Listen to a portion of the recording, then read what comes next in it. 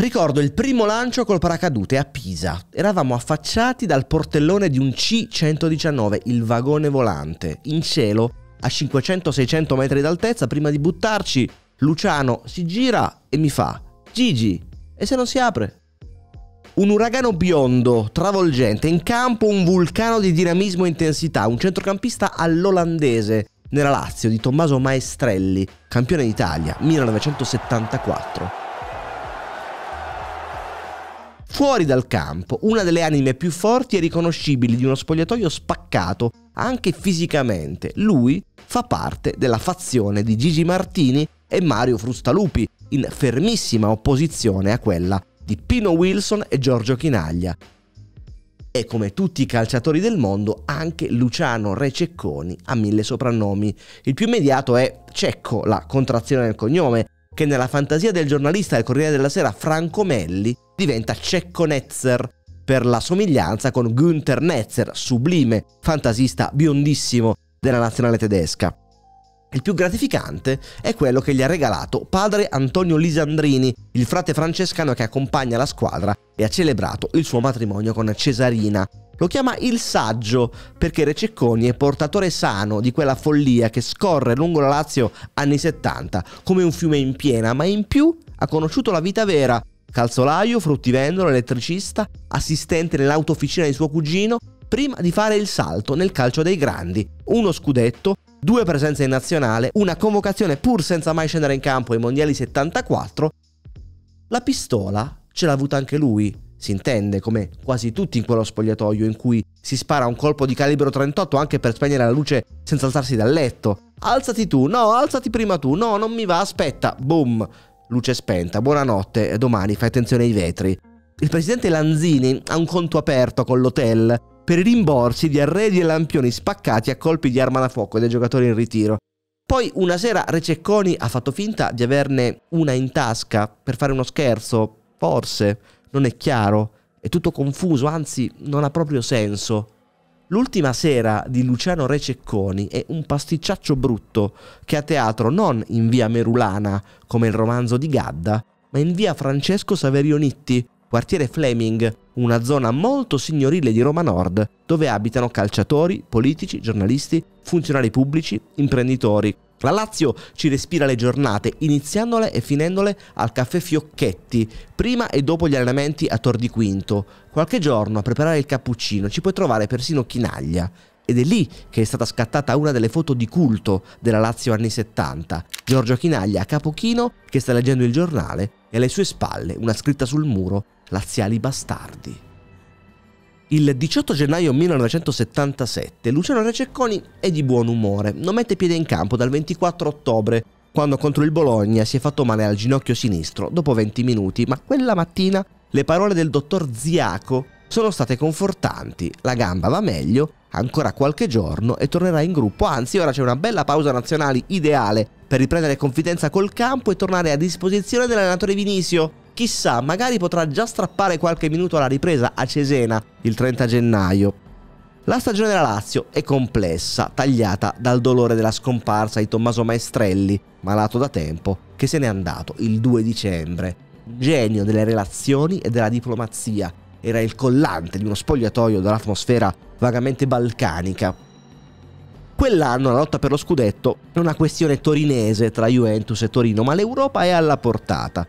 Quella sera Rececconi è atteso a cena con la moglie a casa di Antonio Di Marco, un amico macellaio. Nel frattempo spende il martedì pomeriggio a Zonzo per le strade del suo quartiere a fare commissioni con i compagni di squadra Pietro Ghedin e Renzo Rossi.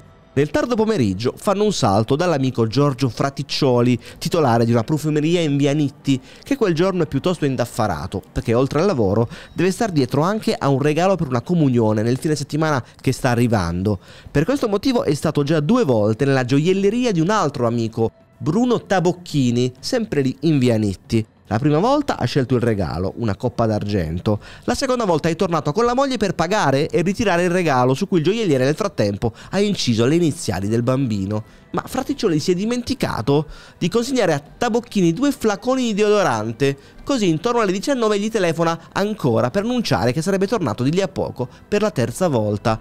E notando i tre amici calciatori a Zonzo nel suo negozio, gli chiede volete venire con me? Ghedin e Rececconi accettano, mentre Rossi si chiama fuori perché ha altro da sbrigare prima di tornare a casa. Pochi minuti dopo lo troviamo a comprare un fiasco di vino in una tavola calda di fronte alla gioielleria. Mentre sta uscendo, Renzo Rossi sente un colpo di pistola. Che tempi, avrà pensato. Ormai c'è una rapina al giorno. La gioielleria di Tabocchini, pomposamente definita Laboratorio d'Arte Orafa, è una bottega un po' angusta, larga 2,5 metri, lunga 2,10 metri, che si trova in via Francesco Saverio Nitti, 68. Alle 19.30, tuttavia, il negozio è piuttosto affollato. Nel momento in cui Fratticcioli e i suoi due amici calciatori si avvicinano alla porta, dentro ci sono già sei persone. Tabocchini, sua moglie, suo figlio Leonardo che fa i compiti nel retrobottega, il macellaio Mario Isidori che sta cercando una fascetta per un orologio insieme ai due figli adolescenti e sta anche prendendo un'ordinazione di carne dalla moglie dell'orafo. Come tutti i gioiellieri nella Roma cupa e violenta degli anni 70, Tabocchini non trascorre giornate serene. Quasi ogni sera il TG dà notizia di una rapina, di uno scontro a fuoco, di un collega ferito o peggio è un incubo che negli ultimi anni lui ha vissuto addirittura tre volte, l'ultima un anno prima, l'8 febbraio 76, e ha sparato e ha colpito al torace il rapinatore Angelo Amatucci.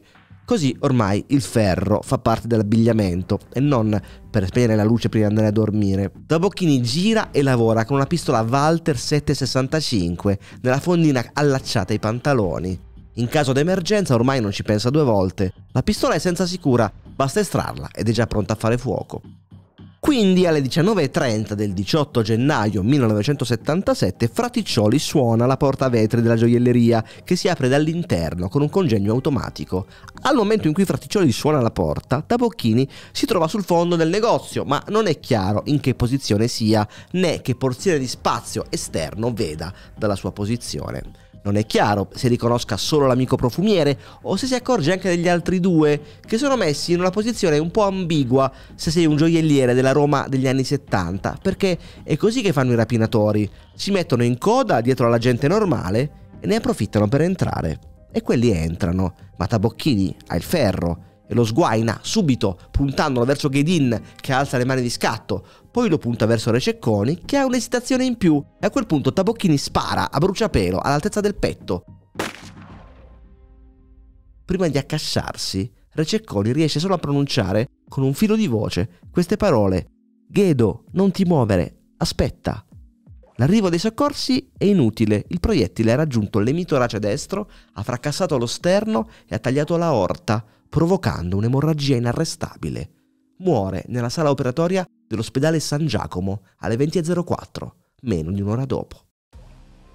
Ma che ha fatto? urla Ghedin. Questi sono giocatori della Lazio, non lo sa, gli urla Fraticcioli. Tabocchini a quel punto ha una specie di crisi di nervi, inizia a urlare, si rende conto della tragedia. In questi ultimi tempi la psicosi da rapina lo rendeva isterico, diranno i suoi conoscenti alla stampa. Leggeva i giornali, guardava la tv, apprendeva quello che succedeva nelle altre gioiellerie e fremeva.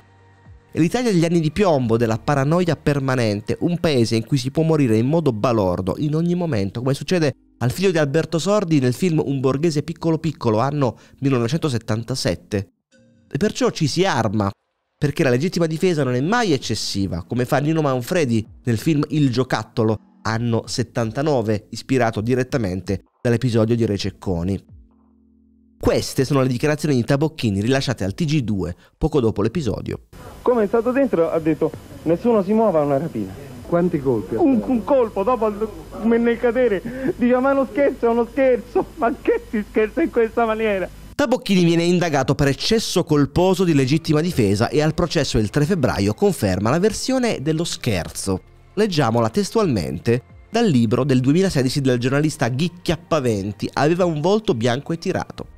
Il fraticcioli urtò il vetro con le nocche, io feci segno di domandare se i due erano con lui, il fraticcioli mi fece un gesto vago che fu da me interpretato inizialmente come una risposta affermativa alla mia domanda. Apro. Mentre il profumiere viene verso il banco, noto uno dei due, quello biondo, ha un volto particolarmente bianco e tirato, una faccia sconosciuta ma dura, tesa, con qualcosa di non comune che polarizza la mia attenzione. Ha un'aria minacciosa con la mano destra nella tasca, sollevata verso l'alto. e già il giorno dopo tutti i quotidiani si mantengono sulla stessa linea, che poi è quella confermata anche da Ghedin. Il cecco mi ha detto fuori, quello lì si è attrezzato come in un bunker, adesso gli facciamo uno scherzo. Ho sentito che diceva fermi tutti, questa è una rapina. E l'altro si è girato e teneva la pistola a due mani, l'ha puntata su di me, ma io istintivamente ho alzato le braccia. Il cecco le manteneva in tasca e quello lì ha cambiato mira e ha sparato. Ma non ho capito niente. Dopo un attimo gli ho detto al cecco, alzati andiamo, basta con lo scherzo. Ma possibile che Re Cecconi si fosse messo in testa una sciocchezza del genere? Per esempio, Gigi Martini, il suo migliore amico nella Lazio, ha sempre dubitato. Non ci fu nessuno scherzo e Ghedin non sentire Cecconi parlare. Di questa ricostruzione sono certo al 100%. Quella sera, a pochi metri dalla gioielleria, passavano per caso i gemelli Massimo e Maurizio Maestrelli, i figli di Tommaso, che si trovavano da quelle parti perché stavano tornando a casa dopo aver preso ripetizioni di latino a casa della loro cugina. Man mano che ci avvicinavamo, il brusio cresceva, ci guardammo perplessi e arrivati davanti al negozio, infilandoci nella folla, capimmo. Cecco era stato portato fuori e giaceva per terra. Il capo tenuto su da qualche passante. Facemmo in tempo a guardarlo in viso e chiedergli cosa fosse successo. Lui ricambiò con lo sguardo dolce, ma non parlò, era come stordito. Loro non hanno visto niente, ma hanno una sensazione raccontata da Massimo. Noi non eravamo nella gioielleria, ma sono sicuro che Cecco non disse nulla, né tantomeno questa è una rapina, non era nelle sue corde. Entrò con Ghedin, mani in tasca e bavero alzato per il freddo, ma senza cappello né sciarpa sul viso, Ghedin fece tempo a tirar fuori le mani vedendo la pistola del gioielliere. Cecco no, e il tentativo di scansare il colpo fu fatale perché espose il petto al proiettile. Se fosse stato fermo. Appare chiaro che la chiave dell'enigma può avercela solo Pietro Ghedin, che però in questi anni ha sempre parlato pochissimo della vicenda, soprattutto in pubblico. Ha avuto una carriera da allenatore ad alto livello, vice di Trapattoni sulla panchina della nazionale italiana dal 2000 al 2004 CT della nazionale femminile e della nazionale maltese, nominato Cavaliere al Merito al Presidente della Repubblica. Sollecitato sull'argomento ha sempre glissato o chiesto di cambiare discorso. In una delle rare occasioni in cui non l'ha fatto, un'intervista all'Unità del 20 febbraio 1994, non ha dissipato granché la nebbia. Se fossi morto io non avrei saputo perché, è la frase più cruda che posso dire per spiegare il mistero di quei tragici secondi ai quali non so dare spiegazione. Dopo appena 18 giorni, Bruno Tabocchini fu assolto per legittima difesa putativa. Che vuol dire putativa? Che può succedere un individuo creda di essere minacciato mentre il pericolo non sussiste. La legge comunque lo tutela. Nonostante il parere contrario del PM Franco Marrone, la Procura di Roma non presentò nemmeno ricorso in appello. Da allora almeno due libri sono stati scritti per tentare di stabilire una seconda verità leggermente diversa rispetto a quella processuale. Oltre al libro di cui parlavamo, di Chiappaventi, va citato Non scherzo, il lavoro del giornalista Maurizio Martucci, secondo il quale l'opinione pubblica del tempo fu orientata da una specie di lobby dei gioiellieri, con importanti appoggi politici sia a sinistra che a destra, in un'epoca in cui i vari gruppi extraparlamentari, con la tentazione della lotta armata, si autofinanziavano anche attraverso le rapine ai negozi di lusso, specialmente le gioiellerie, e la categoria era talmente esposta al pericolo di morte che l'INA l'assicurazione di Stato si rifiutava di emettere polizze a loro tutela. Il giorno dopo il Corriere della Sera, che come tutti i quotidiani dell'epoca preferiva schierarsi con la pancia impaurita del paese che chiedeva ad alta voce sicurezza, si cimentò in un ritratto di Rececconi non molto lusinghiero. Viveva probabilmente in uno stato di particolare esaltazione per l'imminente ritorno in campo dopo una lunga assenza, scrisse il giornale, che raccontò di un altro tentativo di scherzo un anno prima al pronto soccorso dell'ospedale San Giacomo, lo stesso ospedale in cui sarebbe stato portato in vano quella sera. Era andato a trovare un amico ricoverato, poi uscendo entrò nell'ufficio con il bavero alzato e le mani in tasca e intimò ai presenti di alzare le mani, gridando fermi tutti a una rapina. Un attimo di perplessità, poi i poliziotti lo riconobbero e tutto finì in una risata. Per quasi 40 anni fu questo il taglio che tutti i grandi media diedero a quell'episodio infame, prima che le cose iniziassero a essere illuminate da una luce diversa. Dopo 47 anni resistono ancora due domande a cui è difficile dare una risposta, due domande di segno opposto. La prima, perché in una situazione apparentemente così tranquilla Tabocchini non si creò problemi a sparare in una gioielleria molto piccola, un vero e proprio buco con ben sei persone dentro, con il rischio di generare una sparatoria e mettere in pericolo anche la vita dei suoi familiari? La seconda, è vero che Tabocchini non aveva riconosciuto Rececconi. Ma io non lo conosco Rececconi, non vado mai allo non mi piace il pallone, non l'ho mai visto, non, non vado mai a vedere le partite. Secondo altri testimoni era impossibile che non lo conoscesse, come si legge anche sui giornali dell'epoca. Fino a pochi mesi prima Rececconi abitava in un appartamento sulla Cassia, accanto a quello di Tabocchini. Poi a ottobre Rececconi era andato a stabilirsi in un residence di proprietà del presidente laziale Lenzini a 150 metri di distanza. Rececconi era sempre in giro in via Nitti per i suoi acquisti, lì aveva un sacco di amici. Invece Ghedin dirà che né lui né Rececconi erano particolari amici del gioielliere, anzi in quella gioielleria c'erano entrati per la prima volta quella sera. Luciano Rececconi lasciava il figlio Stefano di due anni e la moglie Cesarina in attesa della seconda figlia, Francesca. Le sue spoglie furono tumulate nel cimitero del suo paesino nell'Interland milanese, Nerviano. Figlio di un muratore, Luciano portava quel curioso doppio cognome Re Cecconi per via di un regalo di Vittorio Emanuele II, che un giorno in visita nelle campagne lombarde, apprezzandone la buona cucina e l'accoglienza, aveva voluto omaggiare gli abitanti del luogo aggiungendo a tutti i cognomi Re. I David divennero Re David, i Cecconi Re Cecconi e così via. Un destino di nobiltà interrotto in maniera assurda a 28 anni.